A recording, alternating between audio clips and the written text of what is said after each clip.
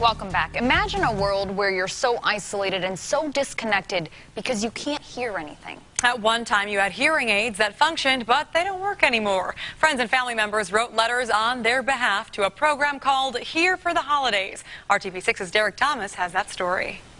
Okay. So here we go. I'm gonna. The hearing world is reopening for 52 year old Marty Mason. He has Down syndrome, but had been living a full, active life, including holding a job until his hearing aids began failing. Do I sound loud enough to you? I like it. You like it? Yeah. Do you feel like you need more volume or less volume, or they sound pretty okay? Marty was so outgoing, friends called him Party Marty. They wanted that guy back and wrote a letter to Whisper Hearing Center saying Marty cannot clearly hear directions and is starting to lose independence in some of his most cherished activities.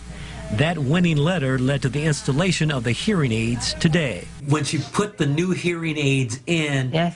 how'd you feel? Could you hear better? Oh yeah. I love it. Thank you so much again. You're welcome. And you too, Welcome. thank you. He didn't love it any more than his mother.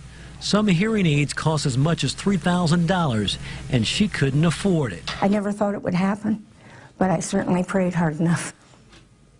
Uh, is this one of the better Christmases? Oh, it's the best. It's the best Christmas we've ever had. It will be just unbelievable for him to be able to hear. Marty hugged his girlfriend to celebrate his reconnection with the hearing world, and the director of audiology for Whisper Hearing Centers feels really good. You can't always do everything, but if even if we can help one or two people, it just makes you feel like you're finally doing your part. I mean, I think you get into this profession to help people, and this is a true way to help. With his new hearing aids, Marty may be able to return to work, but he definitely will become Party Marty once again. Derek Thomas, RTV6.